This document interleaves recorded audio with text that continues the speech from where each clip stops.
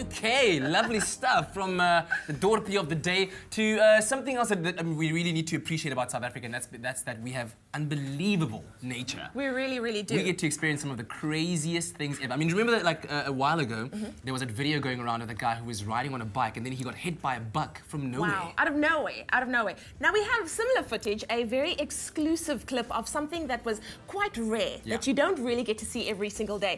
A photographer by the name of Zwin Cronje was yeah. on the Tour of Legends Invitational Cycle Race. And upon this tour, he came across, across a clip of a lioness protecting her kill from a rhino.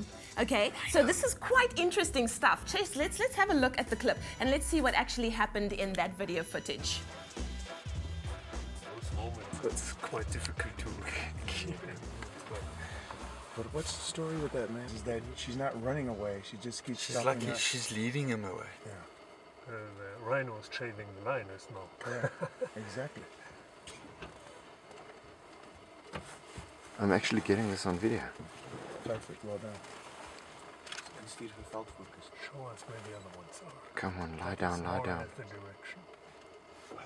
Oh, you like it when she lies down because the rhino comes back? Come, Rhino, where are you? Just behind the tree. Just right, just Wait for it, wait for it, wait for it. There's another one there as well. She's Yeah. just, just to the right of the rhino. Just hold. Yeah, they've got the rhino There's between a them. couple of cubs here as well. Yeah. Jeepers, The rhino crazy. just chased all of them up. Yeah, yeah. There's a whole... Yeah, So but, but they don't want to hunt the rhino. They don't. But, want- but they're gonna Check, check, check. No, here it is. It goes for it. me. I've got it. Oh my word, did you see that? I think be- the lioness just got fed up and just went for the rhino. But to be actually seeing this from this close range, nature's interaction is absolutely amazing. That, that rhino was very lucky. He was Actually, very, and, very lucky. And like the photographer says, they didn't want to hurt the rhino. They were like, you do you, Yeah, we're going we- to do us. we're gonna do our lunch you right know, now, you you know? know? And the rhino was just like, bring it, bring it, bring it. And then just happened to stumble upon a pack of eight other lions feeding. Can you eh? imagine that, that, that excitement? I mean, just take a look at this in slow motion as I go into my Steve Irwin voice. Crikey, so right now, the lion is really just kind of rearing up and it takes it, it takes a lunge from the back. The rhino really, really lucky to and escape actually just attack. lands on the rhino's back as Yeah. well. Now, fortunately for the rhino, uh, it did come out of it okay.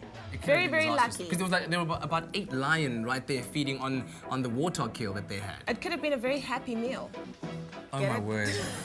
But no, hey, all's no, well that ends well. The Ryan is safe. I think the the, the Ryan, the Rhino is safe. It has learned a very um, important lesson. Yeah. You know. Don't mess with the cats. That's right. That's exactly the lesson learned from that. The Wow. cats are kings. Yeah, yeah. Okay, well, right now, let's take a quick ad break because her jokes are just gonna get worse by the minute, okay? Let us save you. We'll see you now.